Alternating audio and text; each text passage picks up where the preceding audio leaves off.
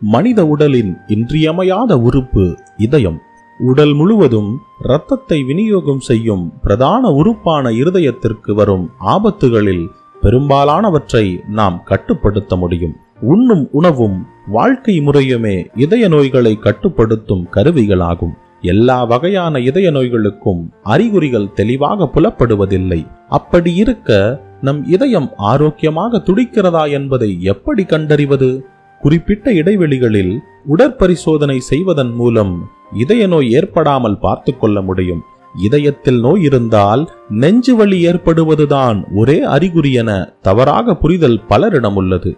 இதய நோய்கள் உள்ளவர்களுக்கு நெஞ்சு வலி மட்டுமல்லாது மேலும் சில அறிகுறிகளும் தென்படும். அந்த அறிகுறிகள் என்னவென்றால் சீரற்ற இதய துடிப்பு நெஞ்சில் அசௌகரியம் உடலின் இடதுபுறத்தில் தோன்றும் வலி மயக்க உணர்வு தலை சுற்றல் தொண்டை அல்லது தாடை வலி உடற்சோர்வு தீராத இருமல் கால்கள் கணுக்கால் அடிவயிறு ஆகியவற்றில் வீக்கம் குரட்டை மற்றும் தூக்கக் கோளாறு.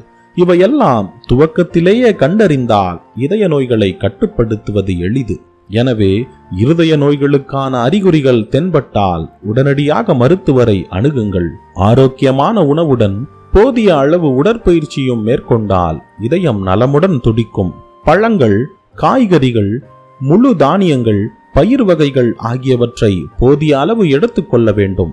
கொழுப்புச்சத்து சோடியம் இனிப்பு உணவுகளை முடிந்தவரை தவிர்ப்பது நல்லது. சீரான உடல் எடையை வைத்துக் கொள்வதுடன் புகைப்பிடிப்பதை தவிர்த்து மன இறுக்கத்தை கட்டுப்படுத்த வேண்டும். சர்க்கரை நோய் உயர் இரத்த அழுத்தம் உயர் இரத்த கொழுப்பு ஆகியவை இதய நோய்களுக்கு வழிவகுக்கலாம் என்பதால் அவற்றை கட்டுக்குள் வைத்துக் கொள்வது மிகவும் முக்கியம். இது உங்கள் நலம் கருதி.